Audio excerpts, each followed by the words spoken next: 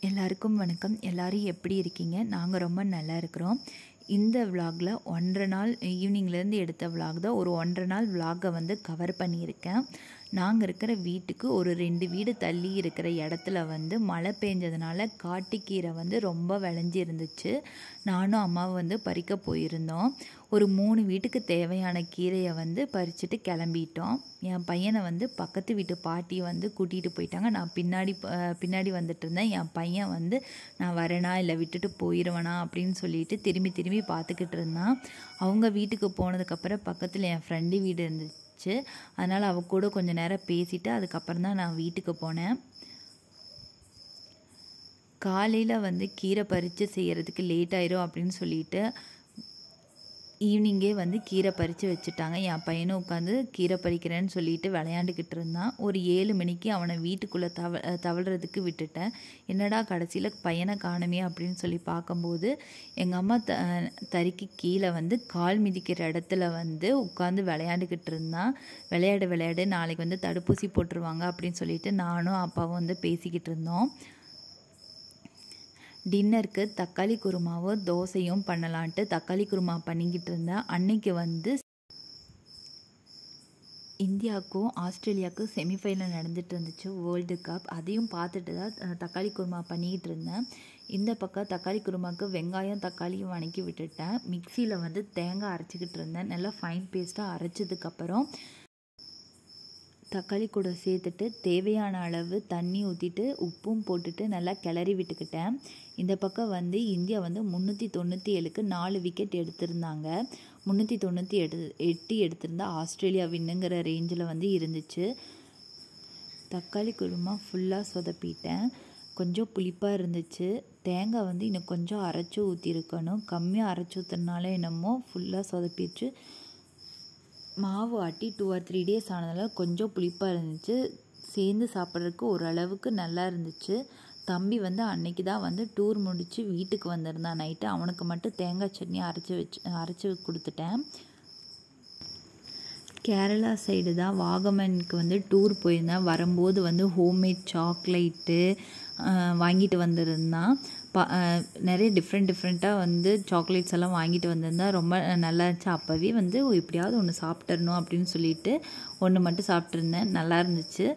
இந்த பக்கம் வந்து குரும் குருமா வந்து கொதிக்கிற கேப்பில் வந்து தோசை சுட்டு கொடுத்துட்டு இருந்தேன் ஃபர்ஸ்ட் வந்து அப்பா தான் சாப்பிட்டாரு. அவருக்கு தோசை சுட்டு மு முடித்ததும் அம்மாவுக்கு வந்து தோசை சுட்டு கொடுத்தேன். அவங்களும் சாப்பிட்டதுக்கப்புறம் என் பையனுக்கு வந்து ஒரு மொ ஒரு மினி ஊத்தப்பம் மாதிரி ஊற்றி அவனுக்கு வந்து பாலில் நினச்சி வந்து கொடுத்தேன். அவன் சாப்பிட்றதுக்கு ஒரு ஆஃப் அன் ஹவர் ஆகுங்கிறனால அவனை சாப்பிட்டு படுக்க வச்சுட்டு நாம் சாப்பிட்லாம் அப்படின்னு சொல்லிட்டு அவனுக்கு ஊட்டிக்கிட்டு இருந்தேன். அவன் சாப்பிட்டதுக்கப்புறம் நல்லா விளையாண்டுக்கிட்டு இருந்தான் சரின்னு சொல்லிட்டு எங்கள் அம்மா வந்து எனக்கு தோசை சுட்டு கொடுத்துருந்தாங்க. நான் சாப்பிட்ருந்தேன் இந்தியா வந்து ஜெயிச்சிருமா ஃபைனல்ஸ் போயிருமா அப்படின்னு சொல்லிட்டு மூணு பேர் உட்காந்து பார்த்துட்டு இருந்தோம் கடைசியில் வந்து ஒரு ரெண்டு கேட்ச் பிடிக்கிறத வந்து மிஸ் பண்ணிட்டாங்க. அதனால் வந்து சீரியஸாக உட்காந்து பார்த்துட்டு இருந்தோம் கடைசியில் எப்படியாவது இந்தியா வந்து வின் பண்ணிருச்சு மேட்சை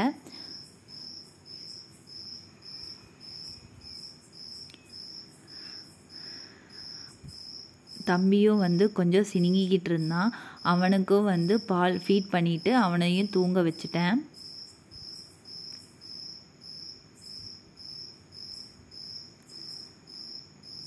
சாயங்காலம் பறிச்சிருந்த கீரையை வந்து அம்மா ஒரு குண்டால போட்டு மேலே ஈர துணி போட்டு வச்சுருந்தாங்க. காலையில் வரைக்கும் ஃப்ரெஷ்ஷாக இருக்கணும் அப்படிங்கிறதுக்காக.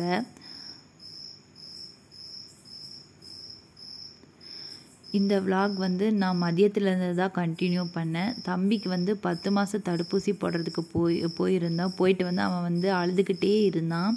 அவனை பார்த்துக்கிறதுக்கே சரியாக இருந்ததுனால விலாக் எடுக்க முடியல காலையில். அதனால் மதியத்துலேருந்து தான் கண்டினியூ பண்ணேன். தடுப்பூசி போட்டு எனக்கும் வந்து கால்சியம் அயன் டேப்லெட்ஸ் வந்து வாங்கிட்டு வந்திருந்தேன். தம்பிக்கு வந்து காய்ச்சல் வந்திருந்தா வந்தால் பேராசிட்டமல் டானிக் வந்து வா வாங்கிட்டு வந்திருந்தேன். அன்னைக்கு டிமார்ட்டில் வாங்கிட்டு வந்த அந்த குக்கர் வந்து அன்பாக்ஸ் பண்ணி காட்டலான்னு சொல்லிட்டு எடுத்து பார்த்தா அப்பா வந்து ஃபுல்லாக பேக் பண்ணி வச்சுருந்தாங்க. இதில் பார்த்தீங்கன்னா மூணு குக்கர் கொடுத்துருந்தாங்க. ஒன்று five litre three litre two litre cooker கொடுத்துருந்தாங்க. ஆயிரத்தி நானூற்றி தொண்ணூத்தொம்பது ரூபாய்க்கு இதுக்கு வந்து ஒன் இயர் வாரண்டி கொடுத்துருந்தாங்க. அங்கேயே வந்து பி பிரித்து தான் காட்டி தான் கொடுத்தாங்க. அந்த மூணு லிட்டர் குக்கரில் தான் இன்றைக்கி வந்து சா நைட்டுக்கு வந்து டின்னர் பண்ணியிருந்தேன். கொத்தமல்லி சாதம் தான் பண்ணியிருந்தேன். இது ரொம்பவே டேஸ்ட்டாக இருக்கும். இது டீட்டெயிலாக ஒரு விலாகாக எடுத்து வச்சுருக்கேன். குக்கிங் விலாகாக நான் தனியாக வந்து அப்லோட் பண்ணுறேன் பாருங்கள் ஒரு மூணு விசில் வந்ததும் வந்து ஸ்டவ் ஆஃப் பண்ணிட்டேன். ப்ரெஷர் அடங்குனதும் குக்கர் மூடியை திறந்து நல்லா கிளறி விட்டுக்கிட்டேன்.